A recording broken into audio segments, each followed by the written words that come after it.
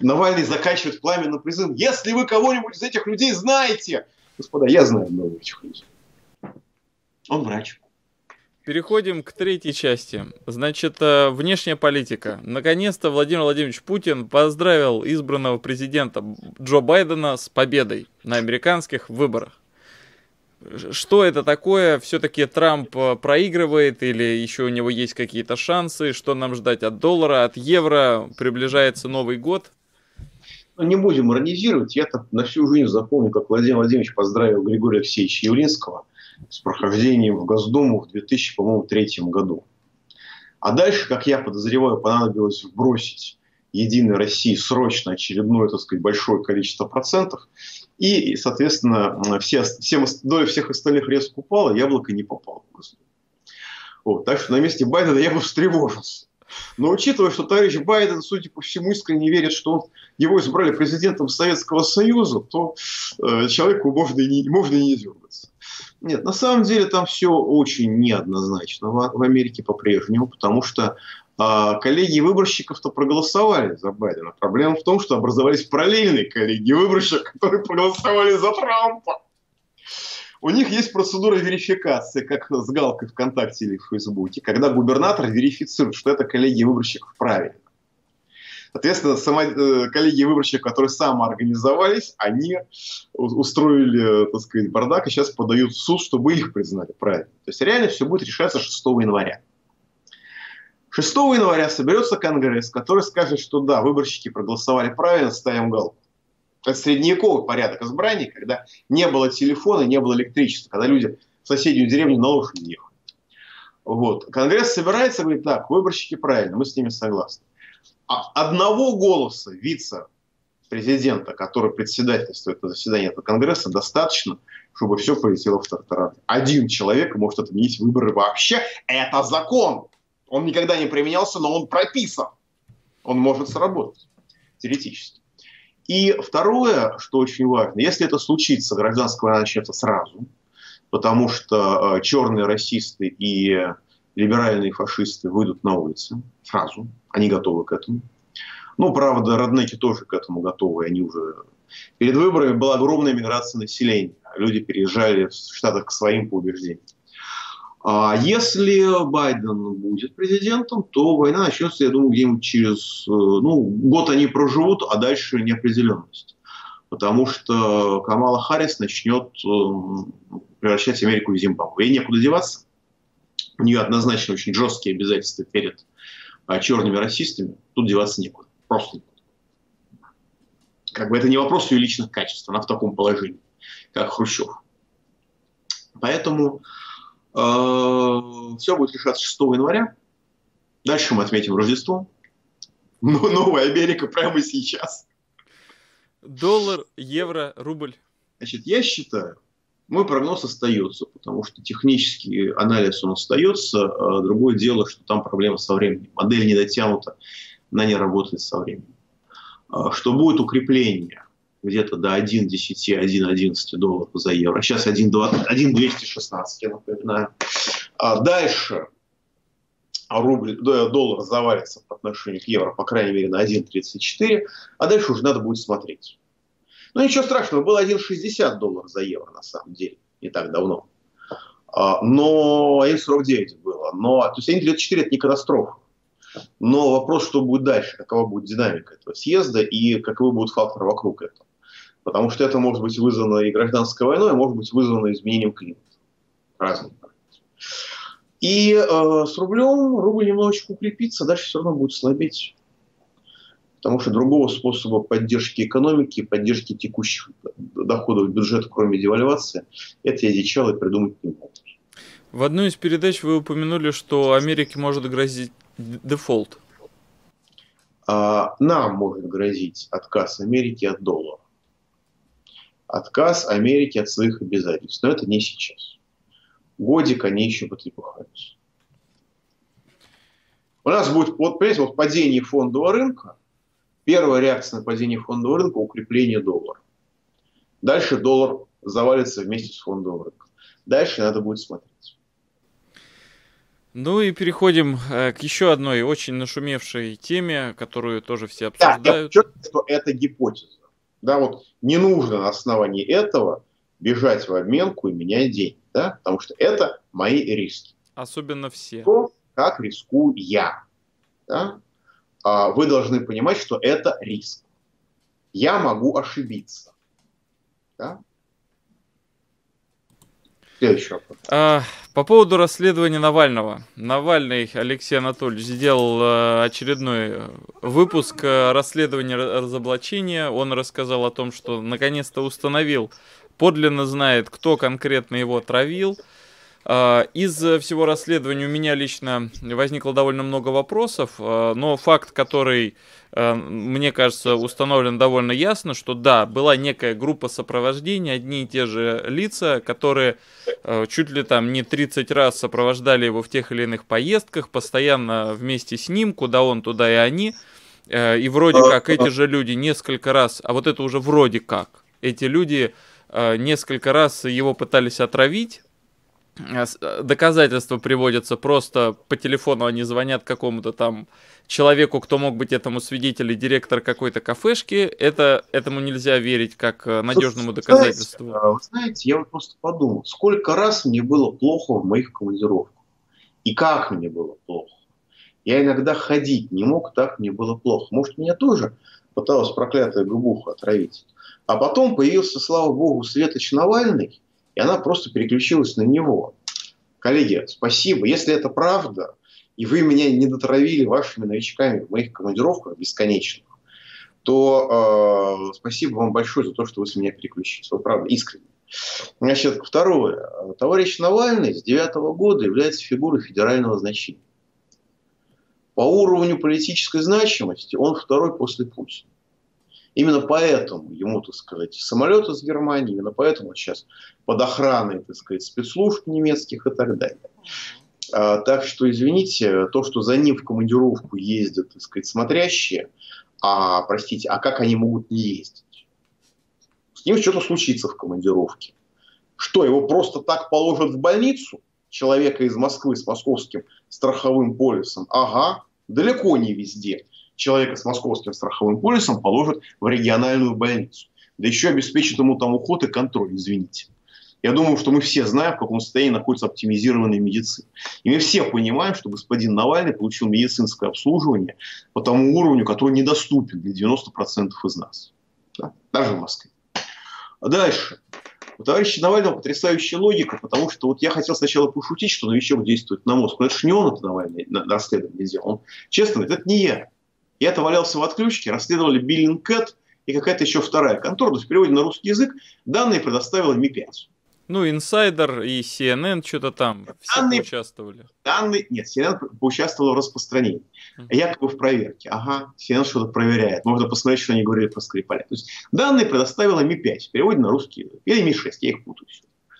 Вот. А, а, просто вот как бы Ми-5 года три назад была признана самой лояльной геем, а, самым лояльным геем работодателем а, всей Великой Британии всего Соединенного Королевства. А что-то после этого у них перепуталось не только в хромосомах, я боюсь, а потому что, простите, а, как сказать, помягче. Вот просто вот такой всесильный, чудовищный Путин, который командует отравить Навального в 2016 году, чтобы он не попал на выборы в 2018 году. А в результате Навальный участвует, в результате Навальный скачет на выборах 2018 года. Его никто не травит, он живой и светится. Его травят через 4 года. Ну, ребят, понимаете, конечно, ребята, наверное, анализируют исполнение майских указов 2012 года, но согласитесь, что благоустроить страну и отравить человека – это разные по сложности задачи. И разные по важности задачи. Если исходить из того, что Путин действительно такой людоед, какую, э, сказать, видится Навального. А, мне очень тяжело было смотреть этот ролик, потому что Навальный выглядит как фантомас. У него абсолютно неподвижная вот эта вот часть лица как будто она обколота. Вот все, что вокруг глаз, у него неподвижно абсолютно. То есть это э, признак чего-то. Я не, не, не поговорил еще со своими врачами, чего это признак. Но э, просто вот сама логика. Как происходит отравление, я могу рассказать. У нас отравили одного деятеля, который очень сильно нагадил неустановленным, так сказать, личностям. И человек две, две недели метался по всей стране в поисках противоядия. Он знал, что его отравили. Я не могу называть фамилию. Он знал, что его отравили. Он метался по всей стране. Противоядия не было. Этот человек был охраняем, прости господи, намного сильнее, чем Навальный. У него была своя охрана, у него была государственная охрана, как я понимаю. Ему ничего не помогло. Вот. Дальше у меня был знакомый, который в 93 году дал неправильный прогноз на валютном рынке, по, по состоянию, по динамике валютного рынка. Э, он взялся за ручку машины и упал, потому что инфаркт на месте. Я после этого, наверное, год за ручки машин, даже летом, рукой без перчатки не брался. И э, вещество, которое вызывает мгновенный инфаркт, выходит из организма само без всяких процедур максимум в течение 30 минут. Это известно всем, это описано в литературе, не только в интернете. Это вещества известны с 30-х годов прошлого уже века. Да? А нанести это вещество на что угодно, никаких проблем. На перчатку нанести и в перчатке вот так вот взяться человеку за шею или за руки, что-то еще. И убежать. Ну, на худой конец, на самый худой конец. То есть вы все-таки склонны думать, Если что... бы кто Навального хотел отравить в 16 году, до э, католического Рождества 16 года он бы не дожил. Вот. Неважно кто. Вот бандита с подворотни, он может это сделать. Это не сложно, это недорого. Может быть, это сложно с теми веществами, о которых я сейчас говорил. Но извините, Немцова пристрелили э, напротив Кремля, и э, никто никаких проблем в связи с этим не испытывал. Заказчик, по до сих пор ищет. Да? Вот. И, и, понимаете, ну просто вот безумная логика, страшный, ужасный, великий Путин, который меня сопровождает и за 4 года меня так и не траванул. Причем травили всех. Ребята, химическое, бактериал... Э, химическое оружие – это вещество, после которых эм, пострадавших не остается. Да? Если бы Даун из спорта Даун применили против Скрипалей новичок, там выжившего, бывает в этом Солсбери, не осталось бы никого, извините. Вот. И то же самое касается этого. Ну и, наконец, вишенка на торте, я уж написал в Телеграме, поэтому расскажу. Я а, там, Навальный заканчивает пламенным призывом, если вы кого-нибудь из этих людей знаете, господа, я знаю много этих людей. Он врач. Ну, по крайней мере, сходство потрясающее а, и, не только, и не только лица, но и, так сказать, фамилии. Но это интересно. Сходство потрясающее. Это человек врач, очень хороший врач, очень хороший человек. А, работал в ведомстве поликлиники одного из наших ведомств. Даже можно назвать это ведомство с некоторой натяжкой силовым ведомством, но не Минобороны и не ФСБ. А, человек по профессии, извините, отоларинголог ухо, вот из этих, нос. Из этих людей, кто, кого Я Навальный не... назвал своими, своими отравителями, есть про, простой лор, который работал в поликлинике. Ну, он, он качественный лор, очень качественный лор. Он работал в очень серьезной поликлинике. Вы туда с улицы не зайдете, я туда с улицы не зайду. Это все очень серьезно.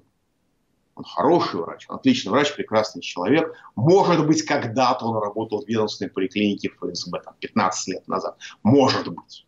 Может быть. А, может быть, он был в каких-то горячих точках. Я не знаю. У человека, у человека вот такие вот лапки у Лора и, так сказать, непробиваемое радушие, которое характерно для людей, которые, в общем, повидали много всего. А, я допускаю, что он где-то там когда-то был. Фотография старая, фотография типа десятилетней давности. Но сейчас он уже седой, и уже не так много на нем растительности. Ну, по крайней мере, 7 э, лет назад было не так много растительности. То есть я могу предположить, что просто есть какой-то архив УНИ-5, какой-то мелкий клерк, может быть, даже нормальной ориентации. Выбрал оттуда фотографию. Сам дал. Все равно никто ничего не может проверить. Ну, может, конечно, я путаю. Может быть, я путаю, не знаю, потому что бывают похожие люди. Вот. Но ну, само по себе два очень похожих человека, еще кто работал в ведомственных структурах, связанных еще, с медициной. Еще, еще у человека имя с отчеством перепутали совсем смешно. О, имя и отчество перепутали. Понятно. Вот, понимаете, а, как бы а, это все хихонь, я, я, понятно, я не могу называть человека, да, потому что, ну, как бы, в отличие от Навального, я соблюдаю тайну личности. Я могу совершенно точно сказать, что этот человек никакого отношения, никакой химии не имел, ну, кроме тех антибиотиков, которые там в нос закапывают или в ухо. Но это на самом деле интересно. Вы не только вот, ан- аналитику дали, но и личную такую информацию. Вот, я, а, давай, видите, я же все досмотрел до конца вчера в ночи, там, в час ночи я заканчиваю смотреть. Вот если вы кого-нибудь увидите, еще раз проходит, я говорю, блин, где же я видел этого человека? Блин, так он же меня лечил. Он же мне, так сказать, когда у меня совсем было плохо с ухом, туда, значит, закапывал говорил, вот этот антибиотик хороший, а вот этот плохой, не надо, вот это покупать, не надо, вот этот покупать. Фамилия. Хорошо, осталось два вопроса нам обсудить. Первый. Это на самом деле похоже на какой-то дурной анекдот. У нас в Санкт-Петербурге известно, ужесточают э, меры, особенно в новогодние каникулы. Нельзя будет работать ни музеем, ни театром, ни рестораном. Местные власти Беглов делают все, чтобы туристы в город не приехали, чтобы не ухудшилась, не дай бог, эпидемиологическая обстановка. И тут потрясающая новость. Московские власти заявляют, мы готовы к наплыву туристов на Новый год. Это что, что такое, Михаил Геннадьевич? То есть они специально, что ли, так подстроили, чтобы в Питер никто не ехал, чтобы все направлялись в Москву? Это Собянин Беглова переиграл? Ну, вы знаете, э, Собянин никогда не будет переигрывать Беглова по очень простой причине. Собянин ему оказал братскую помощь. Но если вы человеку по-братски помогли в свое время, то вы уже с этим человеком конкурировать не будете. А Собянин Беглова практически спас, он отправил специальную комиссию какое-то время, вот, позапрошлой зимой, в конце зимы, которая учила товарища Беглова и его подчиненных, как нужно сбивать э, снег и лед с крыш как сосульки э, сбивать, чтобы они не убивали людей. А, Михаил Геннадьевич, я вас тут должен прервать. Вы, я регулярно смотрю другие ваши передачи на разных каналах.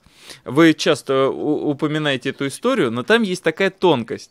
В то же время, когда Питер э, терпел настоящее бедствие, что некому было расчищать дороги, сосульки сбивать и так далее, и так далее, появилась вдруг информация, что питерская техника, снегоуборочная, она как раз в это время почему-то, зачем-то оказалась в Москве. Потому что в Москве за месяц до того наблюдались проблемы, она отправилась в Москву разбираться здесь, а уже потом, когда в Питере начались проблемы, уже потом эти одичалы довели дело до того, да. что коммунальной техники не хватает на две столицы. Да. Я понимаю, это объясняет, почему лед на улицах, но это не объясняет, почему лед на улице не посыпают песком, это первое. Да, но если вы лед посыпете песком, то ноги вы там уже не переломаете. Когда снежок выпадет, вы ноги промочите и все проклянете, начиная от Путина и кончая Бегловым, но вы не переломаете ноги, потому что песочек, он не скользкий. А во-вторых, расскажите мне, пожалуйста, какую, какую э, коммунальную технику используют для сбивания сосулек? Мне известен только лом. Что, ломы в Питере тоже все были в Москве? Без вот. комментариев. Да, так что по этой причине Собянин, как человек, который, так сказать, младшему братишке помог, он уже с ним конкурировать не будет. И здесь все гораздо проще. У нас же коронабесие – это же феномен не медицинский.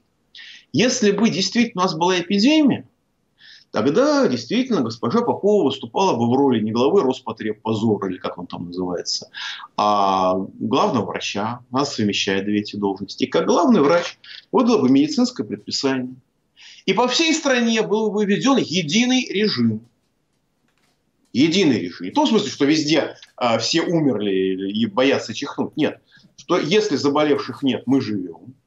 Если один заболевший режим такой, если два заболевших режим такой, если три заболевших режим такой. Нормальная медицинская процедура. Но поскольку коронабесие к коронавирусу отношения не имеет, а имеет отношение к оптимизации э, здравых захоронений и одичанию государства, то у нас ввели режим феодальной раздробленности. Когда что делать в городе, решает не врач, решает губернатор. Даже в государственную комиссию по борьбе с коронавирусом не ввели ни одного специалиста. Ни одного вообще. Караулов устроил, так сказать, скандал по этому поводу. Ладно, черт с ним, да, у нас Караулова уважают все, поэтому ввели одного академика, товарища Чучалина, который очень хороший человек и прекрасный специалист, только он клиницист. Он вам прекрасно расскажет, как именно у вас разрушаются легкие, а вот почему и что с этим делать, это уже, так сказать, другим специалистам вопрос. А, вот. а, соответственно, а, так называемая борьба с коронавирусом, на самом деле разжигание коронавируса, это функционал каждого отдельно взятого губернатора. То есть это вопрос административно-политического произвола. Ну и дальше все просто. Товарищ Беглов испугался. У него одни, так сказать, морально-психологические, тактико-технические качества. А товарищ Собянин, у него нервы, судя по всему, покрепче, для управления получше, поэтому не испугался. Вот и все. Вот вся разница. И последний вопрос. Поэтому на Красной площади у нас будет толпа трудолюбивых статичников из Средней Азии, которые будут кричать, может быть, даже «Ура!», не «Аллах Акбар». Потому что они уже купили или получили гражданство, ну, может быть, купили, может быть, получили, и уже, э, так сказать, говорят по-русски. Хорошо. Это же, это, же, это же русский не может получить гражданство России. Если вы из Средней Азии, но, так сказать, представитель соответствующих народов, то у вас инфраструктура есть, все в порядке, только платить. Последний вопрос на сегодня. Владимир Путин на этой неделе принял участие в работе первого социального онлайн-форума «Единой России». Цитата. Полагаю, что для самой массовой партии нашей страны повседневная работа в эти месяцы, работа рядом с людьми, на местах – это повод провести аудит своих рядов, дать заслуженную оценку для тех, кто проявил себя с самой лучшей стороны, показал себя добрым, сердечным человеком, готовым впрягаться в решении непростых задач, стоящих перед страной. Именно с ними связано успешное будущее партии – а, Владимир Владимирович показал свое доверие партии власти, как ее называют, партии президента. А, Путин, Единая Россия. Какие перспективы у этого тандема? Прекрасные перспективы. Трехдневное голосование, 81% аудитории одной из радиостанций считает, что это гарантия фальсификации выборов. Поэтому Единая Россия получит большинство, а вместе с партией Фаберлик или с чем-нибудь еще Новые они получат люди. полное большинство ну, новые люди, так называются, и получат конституционное большинство, все у них будет прекрасно. Другое дело, что будет со страной после этого. Понимаете, обратите внимание, ведь Путин ставит очень сложную задачу перед Единой Россией, очень творческую задачу. Что такое Единая Россия? Она производит впечатление партии блатных феодалов. Партии, представители которых всем объясняют, что мы вас рождаться не просили, мы вам ничего не должны. Это а, партия, а, представители, которые до сих пор защищают повышение пенсионного возраста. Обратите внимание, после августа 2018 года Владимир Владимирович Путин а, повышение пенсионного возраста не защищает. А Единая Россия трудоедство защищает. И деваться. Это люди, которые голосовали за все преступные законы, за оптимизацию здравоохранения, то есть за убийство людей, за реформу образования, то есть за дебилизацию. А вот теперь представьте себе, что вы, Уничтожаете людей пенсионной реформы. Уничтожаете людей лишением медицинской помощи. Дебилизируете детей, от этого сходят с ума и дети, и родители. Вы лишь убиваете людей лишением их работы. Вы одобряете, всемирно развиваете коронавирус, и при этом вы должны выглядеть, как он сказал, добрым и сердечным человеком. Знаете, Который быть, готов впрягаться, да. Быть доктором Менгеля – это несложно. Ну, много садистов, много людей с ущербной психикой. Но быть доктором Менгеле и при этом быть, выглядеть добрым и сердечным человеком, это действительно сложно, это значит титанические усилия. И здесь нужно провести социальный аудит, чтобы оставить только тех в Единой России, ну, может быть, не людоедов, но единороссов, да, это, это для некоторых является синонимом эти слова, а только тех единороссов, которые, выполняя вот эти вот функции по уничтожению страны, способны выглядеть добрыми сердечными людьми. На месте единороссов я бы задумался, потому что это действительно нетривиально, значит, я бы не смог, правда. Вот дымящимися от крови невинную жертв руками наводить на себе грим, чтобы быть добрым и сердечным я человеком. Я так понимаю, для этого нужно быть шизофреником не знаю, понимаете, вот проголосовать, я не, не психиатр, проголосовать за бюджет 2021 года, который лишает вообще любых надежд на все, который в условиях коронавируса сокращает расходы на здравоохранение. Да более того, смотрите, логика-то в чем? Путин говорит, что Единая Россия самая многочисленная политическая сила в стране, которая должна была на, гос... на общегосударственном, на законодательном уровне организовать помощь людям, вместо этого он говорит, а давайте мы отметим тех, кто в своем районе, в своем городе, там, не знаю, э, раздавал что-то там и так далее. То есть вместо настоящей политической работы, как она должна быть, он говорит, давайте найдем одиночек, кто пытался идти против этой безумной системы. Ну, ну логика в чем? Да нет, давайте найдем одиночек, которые а, пытались выглядеть по-человечески. Которые людям, которых они уничтожают, улыбались. А зачем тогда нужна эта партия, если она ничего не сделала? Если, если фактически эти одиночки шли вопреки этому. Подождите. Задача государства какая? Объективно стоящая перед ним, которую выполняет все, все треть века национального предательства. Разграбление данной территории. Материальный капитал разграбили 20 лет назад, процесс закончился. По крайней мере, с четвертого года, с третьего года, с реформы энергетики, идет разграбление нематериального советского наследства, социального капитала, организационного капитала, технологического капитала. Это уничтожение страны и уничтожение людей вместе со страной. Люди, с точки зрения этого государства, я не говорю, там много хороших людей, и они вряд ли это осознают. Кто начинает это осознавать, тех увольняют. Но функционал – это переработка биомассы, которая по праздникам именуется населением, в личные богатства. Это гипотеза. Но по-другому объяснить эту политику у меня, по крайней мере, не получается. Хорошо, при чем здесь страна? Единая Россия – это партия, которая, с одной стороны, обеспечивает социальную анестезию, чтобы можно было отрезать, отрезать от страны все новые и новые куски. Сначала образование отрезали, а потом здравоохранение отрезали. И при этом страна не кричала, не просыпалась и не сносила этих самых, так сказать, операторов, которые с ней это творят.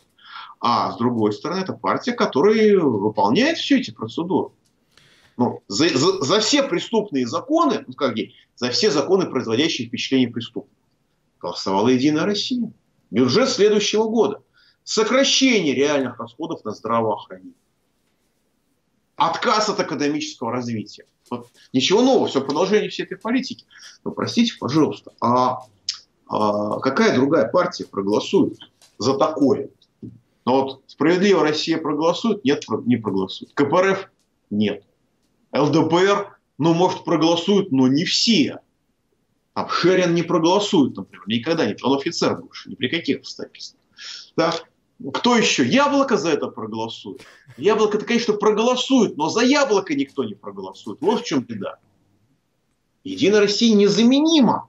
Вы что думаете, так много людей, которые готовы уничтожать свою, свой народ, свою страну?